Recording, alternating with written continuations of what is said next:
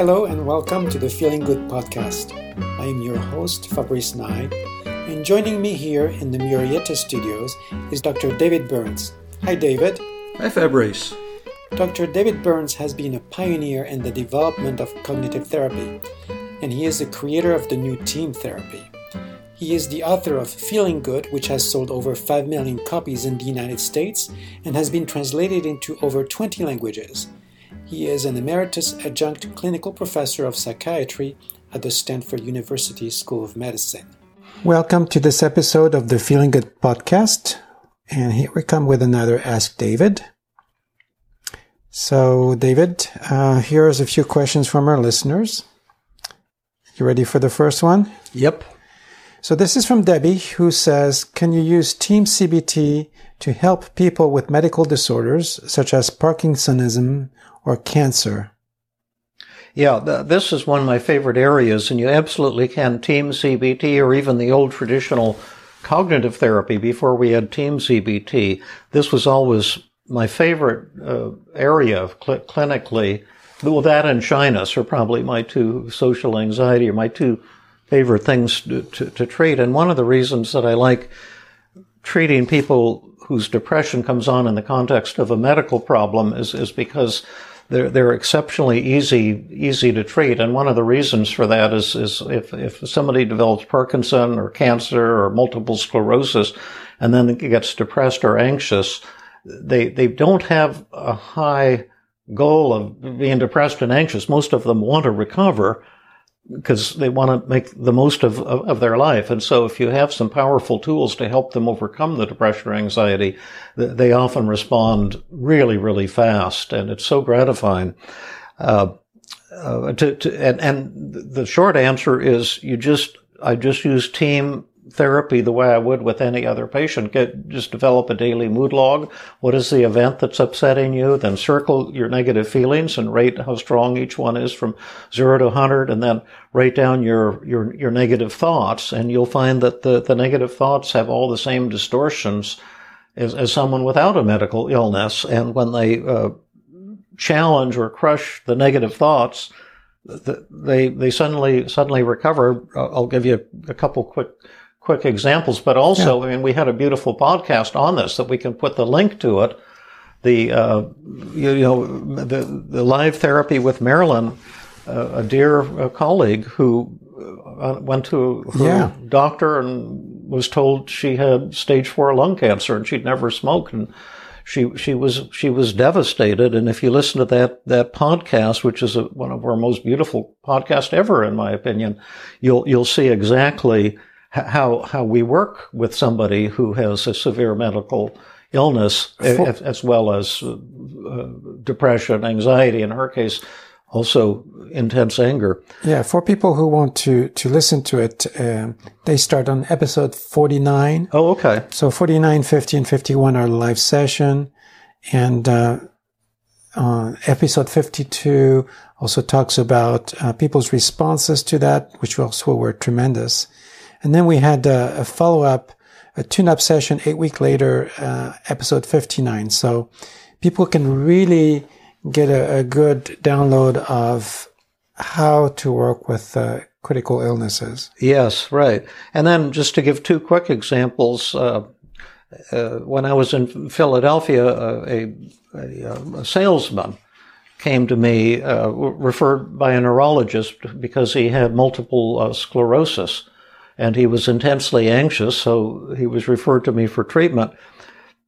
He's a really nice guy, and um, when I when I had him fill out his daily mood log, the upsetting event was, you know, being diagnosed with multiple sclerosis, and uh, and that that that's a, a, disease of the central nervous system, and sometimes I think spinal cord as well, where you get patches of demyelination uh, where, where the in, in, other words the nerves in a small area yeah. will stop functioning and, and yeah. so you get uh, you can get dizziness you can get problems with with motor strength or or numbness uh, and mm-hmm. and the, the, the, typically the, the symptoms come and then they disappear and then they'll they'll return it, it kind of comes and goes, but it is it, it is can serious. lead to paralysis. I mean, it's it's yeah, various various kinds of kinds of symptoms, and um, and and he was like a hundred on the zero to hundred on on anxiety, uh, among other feelings, and he had shame and depression and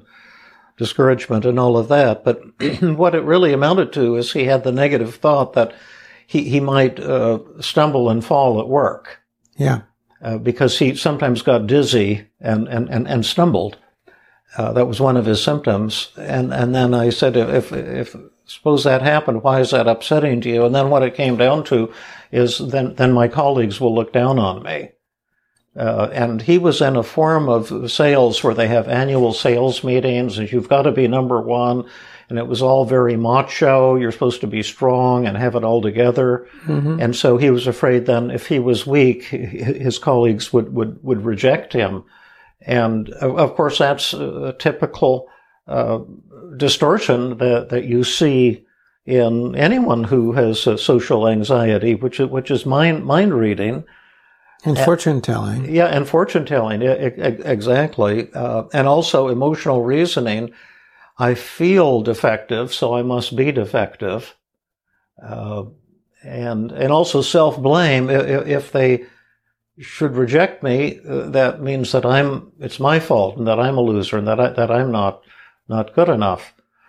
And so this is just a very simple, typical, in those days, you know, cognitive therapy case. And, and we used a variety of, of techniques, but the one that was really killer, that was just blew everything out of the water. He agreed, although he was anxious to do it, to tell his colleagues that survey he has, technique. Yeah, yeah, survey technique, because he'd been hiding it out mm. of shame, and and to ask them what you know what what they thought of him, and, and said and asked him, you know, if I were to stumble and fall, what what would you think of me? And this was very difficult for him to do. It was very terrifying. And then, as you might uh, expect, he, he got a, an outpouring of warmth and, and support from his yeah. colleagues and, and his anxiety suddenly, suddenly disappeared. Mm-hmm. And, and the take home message here, which was the same with, with, with Marilyn and her, her lung cancer, it's not the illness that upsets you. It's not the external event, or in this case, perhaps an internal medical event that upsets you. It's your thoughts about it. And those thoughts will always be distorted and illogical if you're depressed and anxious. And when you challenge them and put the light to them, the anxiety will disappear. Now, could, you could still be very justified in, in, having some sadness if you had multiple uh, sclerosis, but that's not the same as having depression and panic and anxiety and feeling f- feeling feeling worthless. And I could give other examples of this, but I but I won't. It's just that every patient I've ever had who I've treated with, with these, these kinds of issues uh, has been really easy and very gratifying to, to treat. Now, one of my students, who, if anyone wrote, read my book Feeling Good, you might remember Stirling Moorey, the medical oh, yes. student from England. Yeah. And he worked with me. I've never met him, nor have I, you know, read anything by him but just the way you describe him is just uh, so endearing. So. Oh yeah, he, he he's the same way now. He's he's just really awesome. Of course, now he's a prominent and an older fellow like like myself, and a leading a leading uh, cognitive therapist in in England. But uh, he wrote a book on cognitive behavior therapy for people with cancer. Yeah, he he, he was very interested. We did a lot of work together in this in this area. And I see now you can get that uh, uh, on, on Amazon. Before the days of Amazon, it was impossible to get it. Mm-hmm. But you can order it, and I'll put the link to, to, to that book for anyone who wants nice. to yeah. uh, to read about that. Okay. Um, the next question comes from Mark, who's asking us, "How can I help a depressed family member or friend who is passive and doesn't want to do anything?" I think we've had a question kind of like that before, but uh, yeah, it's worth we, repeating. Yeah, we have. I don't know. If, I don't think it was this exact question. This no, was, was no, but Mark, who is a great friend of Team CBT, so he's actually a famous neuroscientist who's come out from the East Coast to visit our our Tuesday group and Sunday hikes on I think about five occasions now, and he's really a neat guy. And he did podcast number one hundred. Yeah, we we did a podcast with him. Yeah. Um, uh, but the short answer to, to this, and maybe you can embellish it, uh, is, is, that I, I think in the role of a family member, uh, attempts to help or cajole the person will, will, kind of force them to, to continue to be passive and, mm-hmm. and, and to, re, to resist. And I think you need to let your ego die uh, as a family member, the, this idea that you're supposed to rescue or save this person and, and instead use the five secrets of effective communication to to provide warmth and understanding and, and be a good listener so the other person can kind of share their feelings and spill their guts and, and, and, and show where, where their heart is at without feeling like they're being told to do something or criticized or, or put down. Now that's easier, easier said than done because it's hard to learn the five secrets and, and, uh, listeners who, who would want to, to learn that can li- listen to our podcasts on how to do the five secrets of effective communication. But it also involves an internal change in, in the person to, to give up this idea that it, that your, your job to rescue the, the, this, this person. And that it can be very hard for some people to let, to let go of, of that, uh, of that, uh, role, to give yourself that role of the, of the helper or rescuer. Yeah. And maybe you can embellish this a little bit. Well, to begin with, you know, don't even think, even if you're the best psychologist that you can do therapy with a family member, it's not going to work. Uh, you know, I've fortunately not put myself in that situation, but um, there's there's too much enmeshment. I mean, there, there's a lot of history with your family members, and and you can't get around that.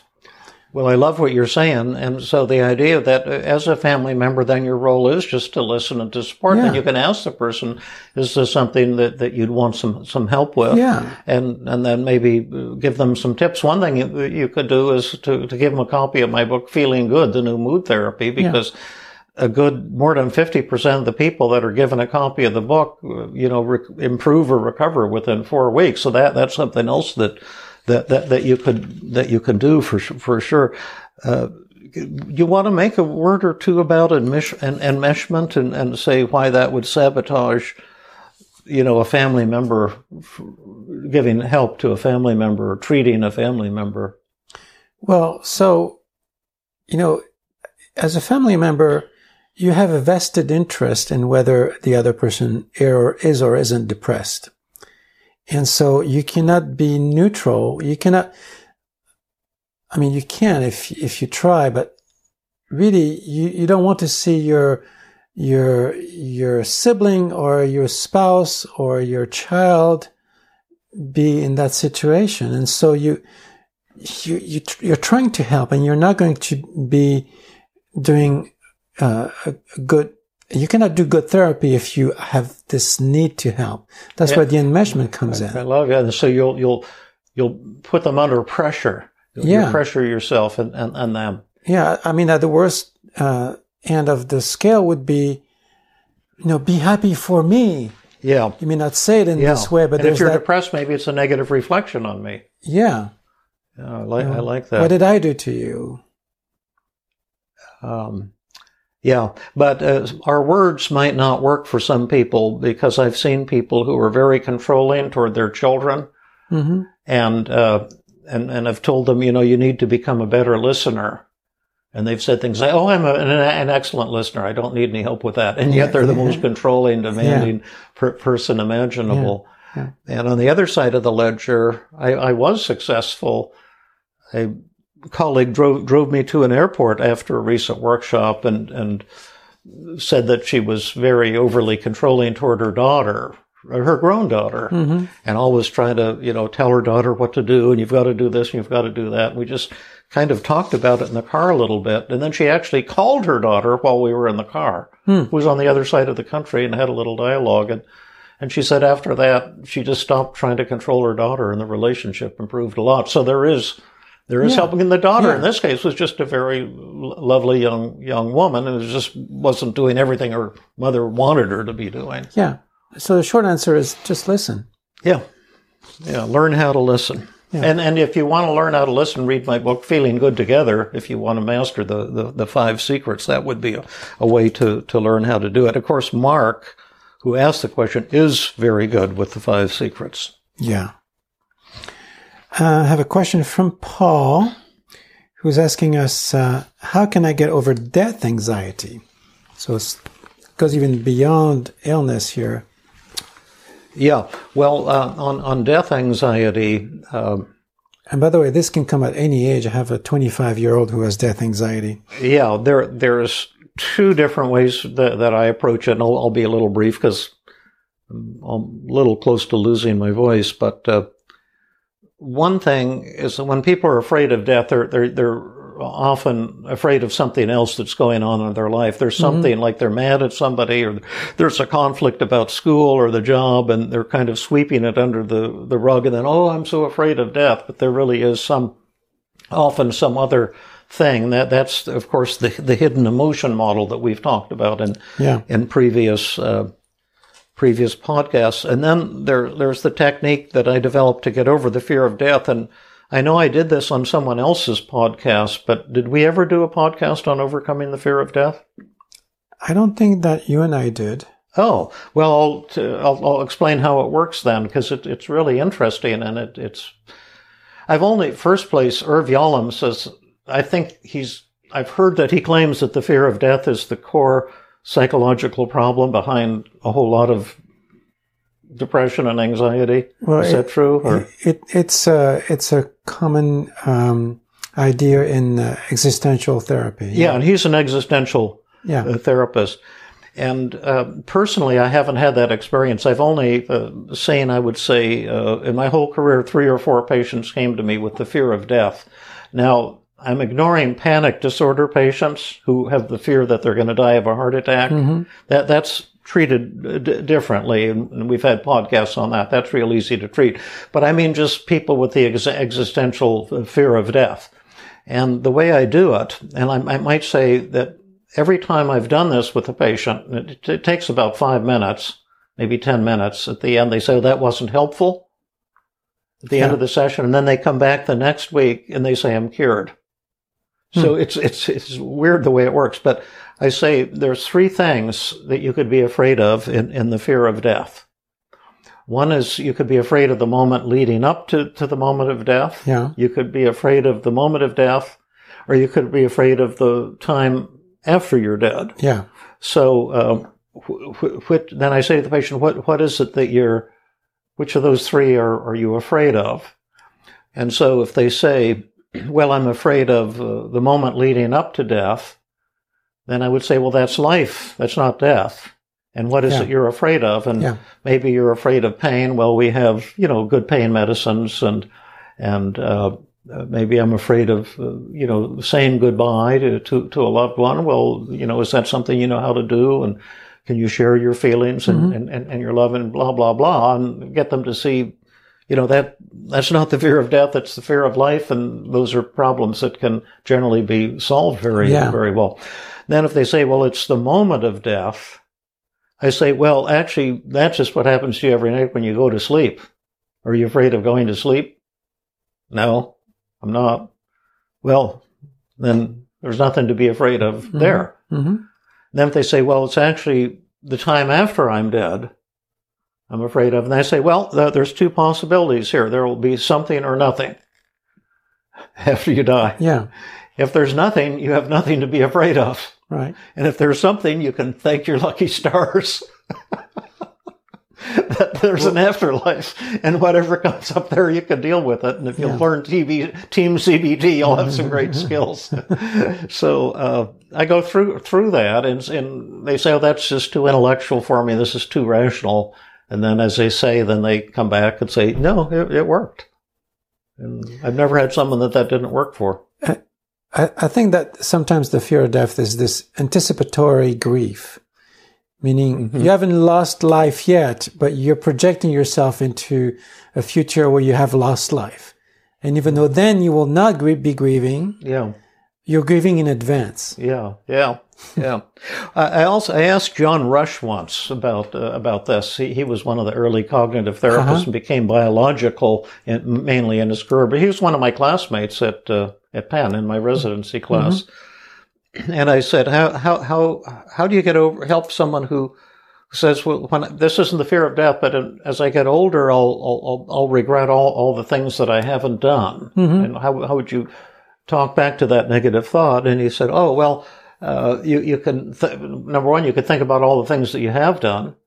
And then you could also ask yourself, you know, you've done some of the things you want to do in your life, but you haven't done all of the things you wanted to do in your life what what percentage would be satisfactory for you? How many things would you have to do to feel happy, happy and fulfilled? And yeah. I thought, oh yeah, that that's a good point. There's tons of things I haven't done, and I'm never going to do them, and I don't really give a shit.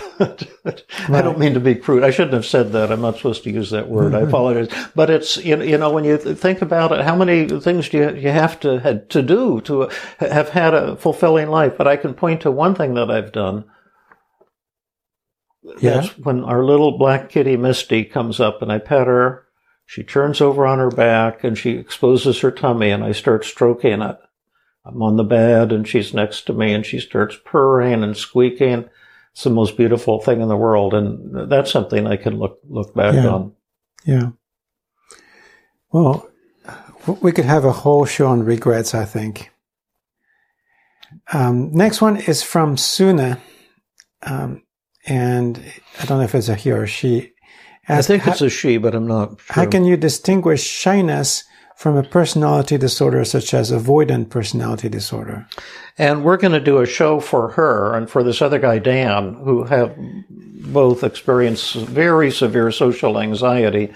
We won't focus on the treatment of that now, but we're going to have two consecutive shows on how to treat social social anxiety, shyness, public speaking anxiety, yeah. stuff like that. I mean, nowadays they they hardly dis- distinguish uh, avoidant personality disorder and social anxiety. Well, that's that's my point exactly. The there thing, there yeah. is no such thing as avoidant personality disorder. It's just that uh, if, if your shyness gets real severe, they call it avoidant personality disorder, yeah. but there is no such such yeah. thing, and that that's the answer.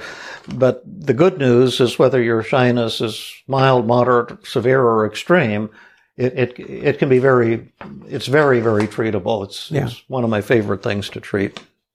Okay. Uh, here's from Sly. Do you believe in the Big Five personality traits model? And will your therapy tools change these big, big five traits? I got a score of 67 on neuroticism. Neuroticism. Neuroticism, which means I am more prone to anger, depression, anxiety, and vulnerability, and tend to think about things in a pessimistic way. If I do the exercises in your books and develop a more realistic outlook on myself and others, does it follow that my quote personality traits will get more or less changed? Well, the answer to that is yes. So does that mean that those are not personality traits? Yeah, there's no such thing as, as you know, a personality trait. That's just a, an imaginary construct, once again. but the, this fellow Sly uh, sounds like he's more prone to, to, to depression and, and uh, anger and anxiety and vulnerability and 50% of the population is more than average in these areas. Mm-hmm. And, and, and that just means you have more depression or more, more anger. And then you use the techniques in, in the book, a daily mood log and what is the focus on one moment when you're upset, not some non-existent personality trait, but a moment that you were angry or depressed and, and then circle circle your emotions. What was the event, and what are your negative thoughts? And then you can do positive reframing, and uh, you do a recovery circle, and use all these techniques to to to crush to crush those thoughts. I always work through specificity. I don't try to work on this this this general level because you you tend to to spin your your wheels. I don't know if I've said enough on this, but maybe you can put in your own thinking here, Fabrice. Well, my, my question is, are you saying that the, the big five personality traits uh, are not valid?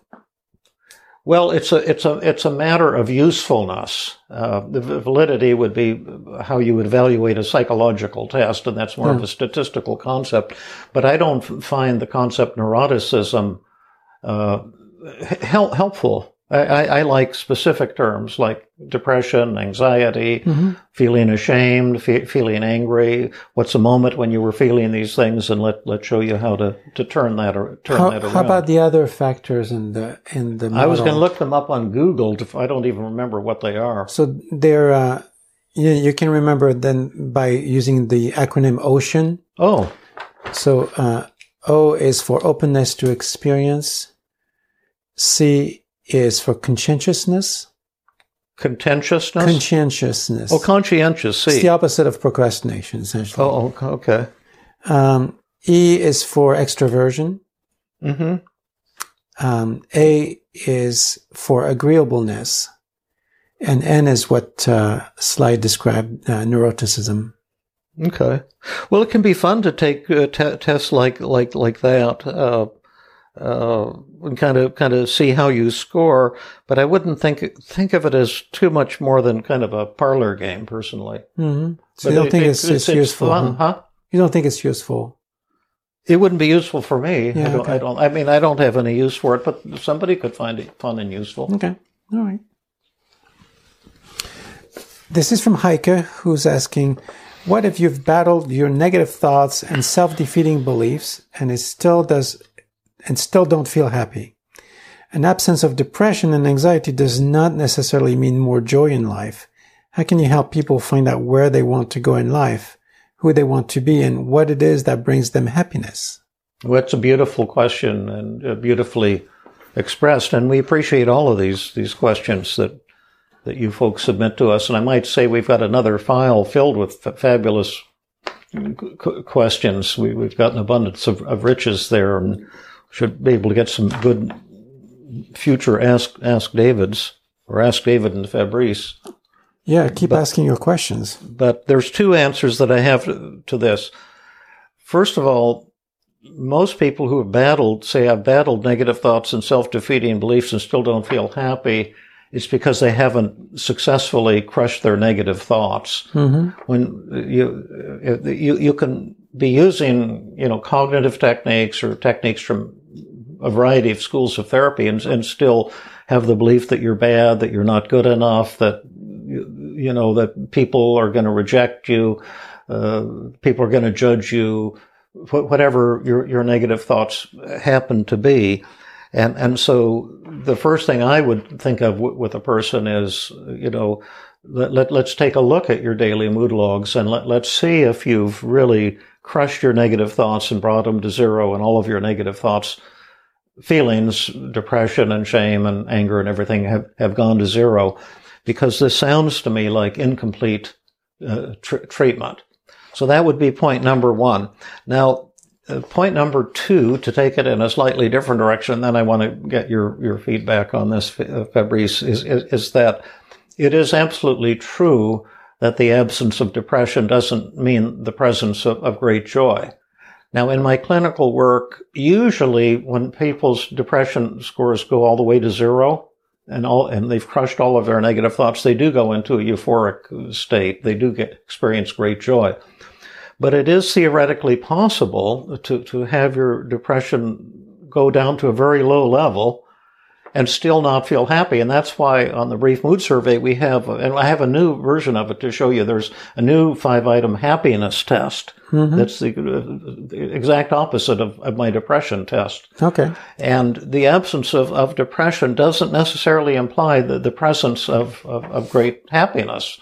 Um, and, and so, but if, if someone says, I want more happiness, again, I would never work on, on a general level. I would never say, oh, well, here are some methods to here's positive psychology for you, or here's how to figure out where you want to go in life. To me, all that stuff is kind of bullshit. And, and, uh, I apologize for, for being a cynic. That, that's me. That's, that's how I operate. But what I would say to the person is, oh, well, give me a particular moment in your life that you were uh, not as happy as you would like to be. What time of day was it? Where were you? Who were you interacting with? What did they say? What did you say next? What were you thinking? What were you feeling? And, and focus in on something very, very specific. And once you solve that problem at that specific moment in time, uh, generally the, the, whole, the problem as a whole will, will disappear. So it's exactly the same method that I use for, for helping people get over depression or yeah. panic or anger or shame or loneliness or, or, or, anything. Yeah. Yeah. I think, um, this, this really speaks to the fact that, uh, happiness or misery is happening in the moment. Yes. It's not happening yesterday. It's not happening tomorrow. It's happening now. Yes, right. And if you look at what's happening now, and if you can solve the now, you can solve every moment of your life. Well, I just love what you're saying. And, and there will always be something that the person isn't attending to. Uh, uh, you, you, you see, maybe they're unhappy in their job and they need to make a decision of applying for work elsewhere or discussing with their boss the fact that they haven't had a raise in some time, some time or they're unhappy with something in their life. They're conflicted. They want a date, but they're afraid of, you know, they're shy and they're afraid of rejection. There will always be some specific thing that they're, that they're unhappy about. And as you mm-hmm. say, once you show them how to solve that problem, the whole system of unhappiness will tend, tend to fall apart. Yeah. And they will find out then what their goals are in life. They'll find by solving that one one minute because everything is encapsulated yeah. in that one moment. Yeah. Well, that's that's that sounds like a good answer to me. Ask David. And yes, that's it. Thank you so much. Thank you, Fabrice. Thank you. This has been another episode of the Feeling Good podcast. For more information, visit Dr. Burns' website at feelinggood.com, where you will find the show notes for this podcast under the blog page and where you can leave your comments and questions.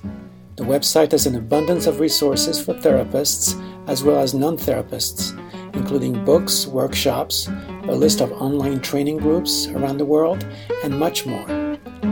Theme music is Gypsy Jazz in Paris, 1935, composed and performed by Brett Van Donsel. I am your host, Fabrice Nye, and I invite you to join us next time for another episode of the Feeling Good podcast.